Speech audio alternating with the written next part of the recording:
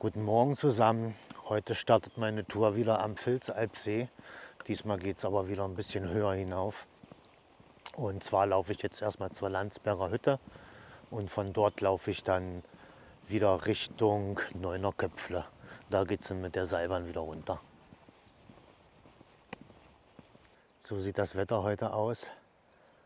Mal schauen, wie viel Sicht wir da oben bekommen heute. Ist aber der erste Tag, wo es kein Gewitter geben soll.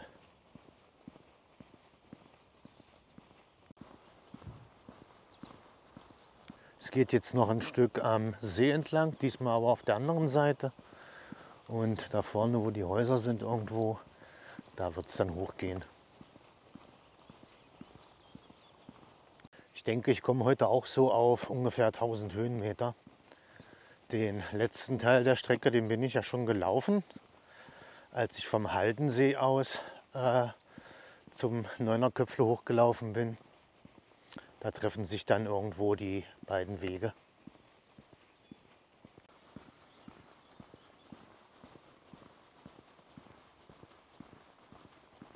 Heute bin ich auch mit der Bimmelbahn hergefahren.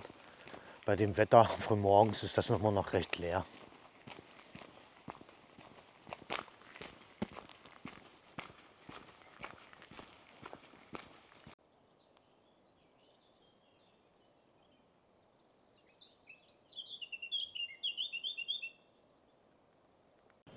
So, da drüben bin ich gestartet.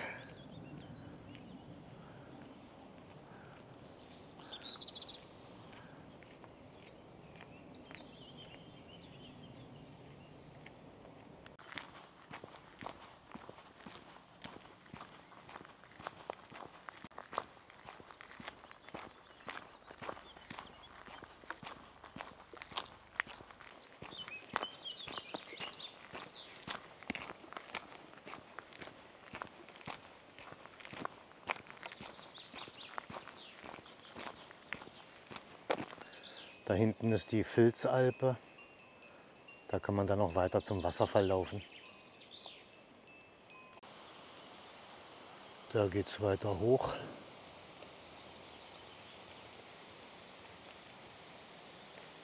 Das sind jetzt ungefähr zweieinhalb Stunden bis zur Landsberger Hütte und danach wahrscheinlich dann auch zwei bis zweieinhalb Stunden äh, bis zum Neunerköpfle.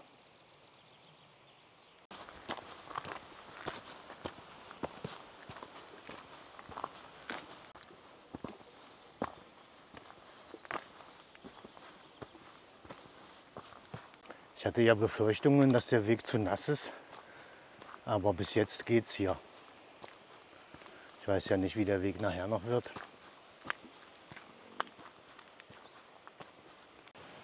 Nochmal ein Blick hinab zum See.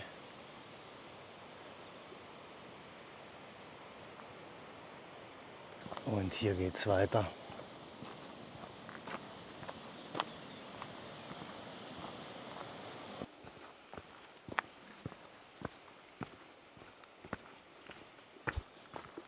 Hat man gute Sicht hier.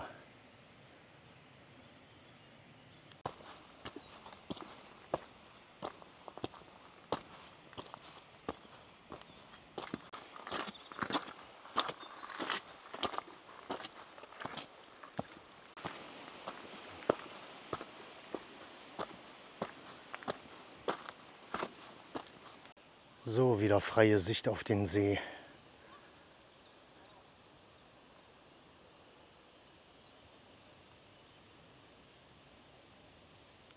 Hier wird es jetzt ein bisschen steiler. Da oben laufen ein paar Leute. Kann man sehen ungefähr, wo der Weg lang geht.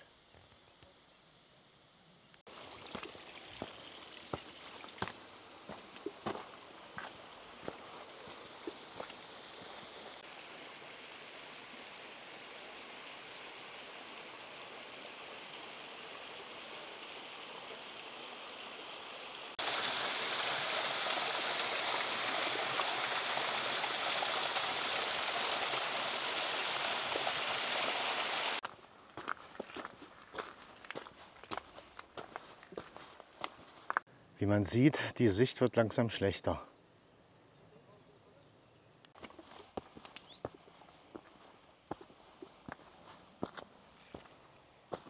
Hier ist es wieder ein bisschen rutschiger, weil so mehr Felsen. Deshalb laufe ich auch bergauf. Bergab ist wahrscheinlich noch rutschiger. Dahinter den Damm, da kommt dann der Traualpsee. Die Spannung steigt.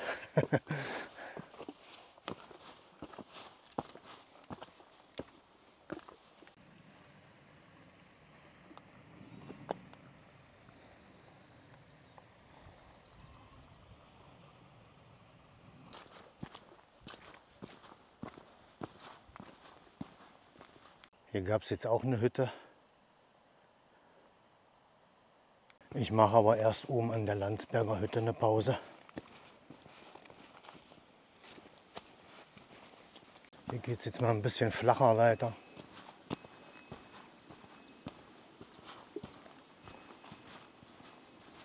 Da drüben geht es wahrscheinlich weiter hoch dann. Dann kann man schön sehen, wie die Wolken hier lang ziehen.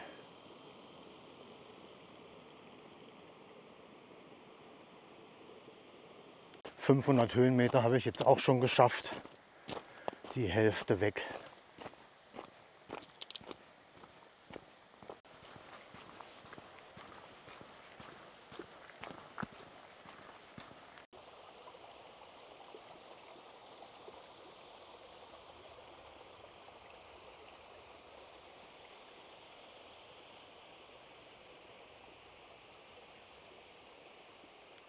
Hier ist wieder ein schönerer Blick auf den See.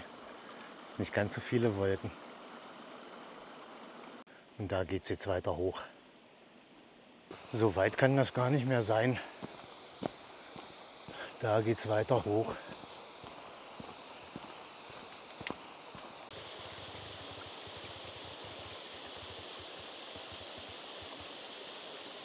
Es wird jetzt langsam kalt hier oben.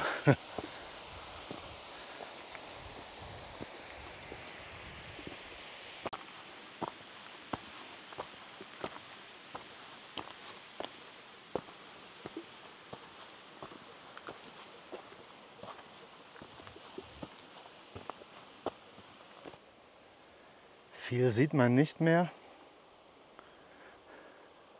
Da unten ist der See, den sieht man jetzt gar nicht. Trotzdem sehr reizvoll die ganze Geschichte hier.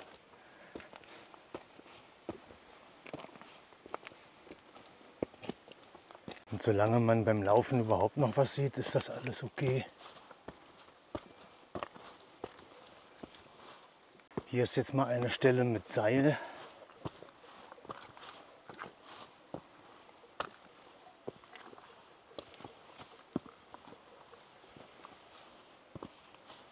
Hier sind einige Gedenktafeln.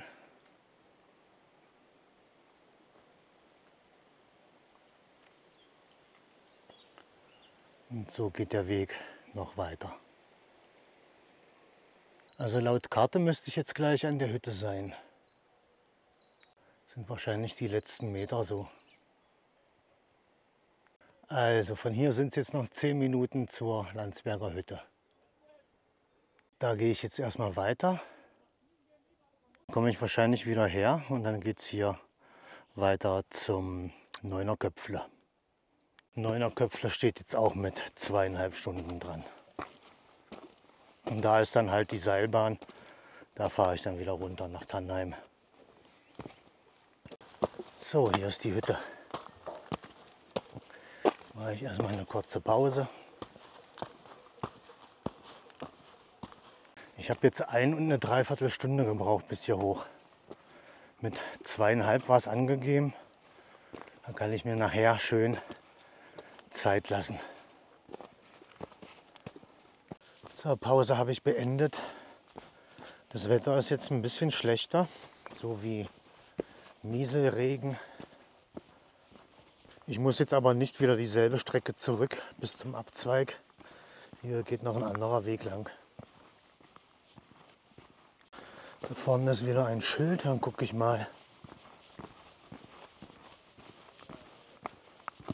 Stand wieder keine Zeit dran, aber ich denke mal so zwei Stunden, zweieinhalb Stunden. glaube, da unten ist auch noch ein kleiner See, nennt sich Lache. Aber da sieht man gar nichts von. Also hier ist der Nebel, äh, die Wolken jetzt auf jeden Fall dichter. Von da bin ich jetzt gekommen. Und hier könnte man jetzt weiter wieder zurück zum Vilsalpsee laufen. In die Richtung. Ich laufe jetzt noch ein Stück hoch. Aber ich glaube, so viele Höhenmeter, ich weiß gar nicht, ob noch so viele kommen. Hier sind jetzt einige Leute, die mir entgegenkommen von der Bergstation, die zur Landsberger Hütte laufen. Ich bin gerade froh, dass ich Richtung Bergstation laufe und nicht andersrum. Was man hier gerade an Menschen vorbeikommen, Wahnsinn. also entgegenkommen.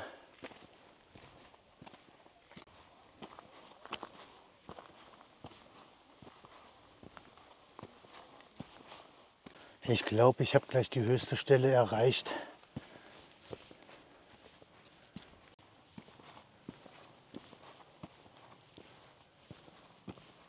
Auf der anderen Seite scheint die Sicht wieder besser zu sein. Ich muss jetzt da weiter. Da oben ist, glaube ich, die Schochenspitze, aber das Stück spare ich mir. Ich gehe dann da hinten, geht es dann wahrscheinlich wieder runter.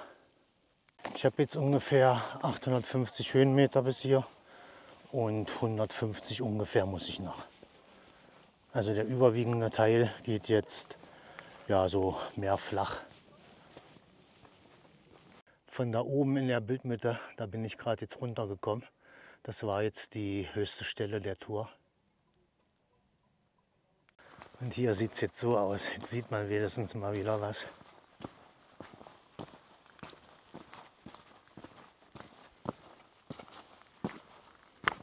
Die Sicht ist jetzt doch wieder schlechter geworden.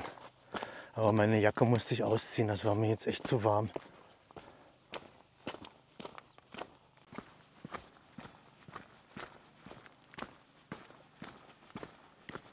Und Jacke wieder an. Also wenn du hier so mittendrin im Dunst bist, es ist kalt. Und wenn du dann mal wieder rauskommst, dann hast du direkt 10, 20 Grad wärmer gefühlt. Aber ich glaube, hier kann ich die Kamera auch erstmal wegbacken. Ich habe jetzt noch anderthalb Stunden. Hier könnte man jetzt in einer Dreiviertelstunde zur Sulzspitze laufen. Macht aber bei dem Wetter mal überhaupt keinen Sinn. Ich habe jetzt noch eine Viertelstunde.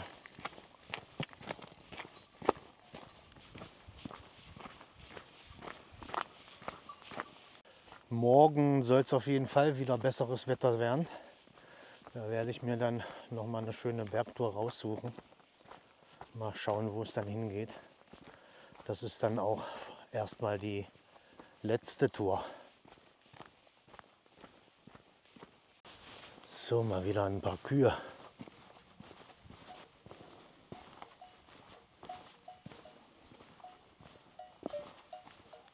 Hier ändert sich der Weg jetzt auch wieder. Ich bin gerade die ganze Zeit auf diesem breiten Weg lang gelaufen.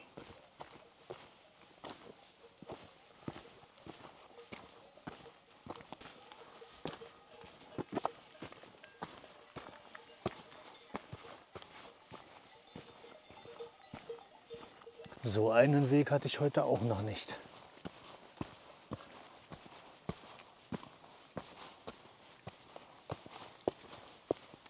Hier stand ich vor ein paar Tagen schon mal. Heute bin ich von da oben gekommen, von der Landsberger Hütte. Und letztens bin ich von da unten gekommen, von der Strindenalpe. Wenn ihr wissen wollt, wie das hier ohne Wolken und Nebel aussieht, dann schaut euch die Tour vom Haldensee zu den Neuner Köpfle an. Ich brauche jetzt ungefähr noch eine halbe Stunde bis zur Seilbahn und deshalb werde ich mich jetzt hier schon verabschieden. Wie gesagt, ich verlinke mal das andere Video, da könnt ihr den Schluss euch anschauen, wenn ihr es noch nicht getan habt. Dann wisst ihr, wie die letzten Meter so sind. Also vielen Dank fürs Zuschauen und bis zum nächsten Mal.